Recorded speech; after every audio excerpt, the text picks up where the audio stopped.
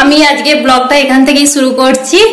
আমার আজকে দুপুরবেলা তখন এখন ঘড়িতে তোমার ওই দেখলাম সাড়ে বারোটা এরকম বাজছে। তো আজকে রোদও উঠেছে যাওয়ার তো কই সেরকম ভাবে এলো না। সমৃতের কথা শুনতে পাচ্ছ? আর আমাদের এখানে একটু একটু রোদও উঠেছে মেঘলাও আছে। আর এই যে ওয়েদারটা এরকম ধরনের হয়ে আছে। আর আমি ওপরে এসেছি সমৃতের বাবাকে। ডাকতে সমৃত এখন এই ঘরে ঢুকবে বলছে।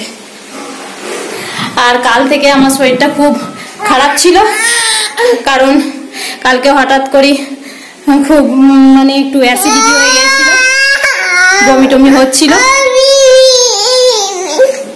আর এই যে এখানে চলে এসেছি ঘরের মধ্যে। হুম। খাতা নিয়ে পড়াশোনা হচ্ছে। এই যে। হ্যাঁ? যে পড়াশোনা করছিল খাতা নিয়ে। সমৃতের বাবা।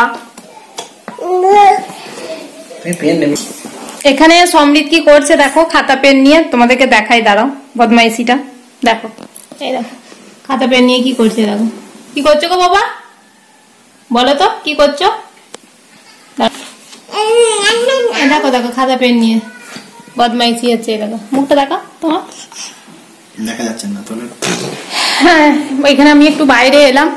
যাওয়ার তো পালিয়ে গেছে, ভয়ে ভয়ে তো সেই নিম্নচাপটা তো রয়ে গেল। চারিদিকটায় শুধু বৃষ্টি, কালকে সারাদিন কালকে সারাদিন, সারা রাত খুব বৃষ্টি হয়েছে, রাতে তো খুবই বৃষ্টি হয়েছে। আমি সত্যি কথা, কালকে একদম উঠতেই পারিনি। এত শরীর খারাপ লাগছিল যে আর মানে সমৃদ্ধকে খাওয়াতে পর্যন্ত পারিনি। সমৃদ্ধের বাবাই ওকে খাইয়েছে কালকে দুবার। খুব শরীরটা হঠাৎ খুব খারাপ হয়ে গিয়েছিল, বুঝতে পারছি না। এখনও মানে ঠিকঠাক হয়নি, শরীরটা আজকে খুব দুর্বল লাগছে। দেখো বাইরের ওয়েদারটা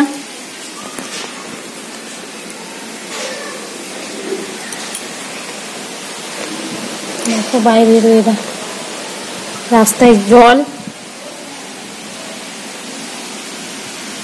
সব চারিদিকে শ্যাওলা। কি অবস্থা? আর বেশি কিছু কথা বলব না, কারণ সময়টা আমার কাছে খুবই কম হয়ে যাচ্ছে। এক ফোঁটা সময় পাচ্ছি না, তো যতটুকু সময় পাচ্ছি তোমাদেরকে সময় দেওয়ার চেষ্টা করছি। তো যতদিন না একটু বেলাটা বড় হচ্ছে, ততদিন হয়তো তোমাদেরকে খুব একটা বেশি সময় দিতে পারছি না। তো কি আর বলব? আর আমি ব্লগটা আজকে এখানেই শেষ করছি। তোমরা সবাই ভালো থাকবে, সুস্থ থাকবে।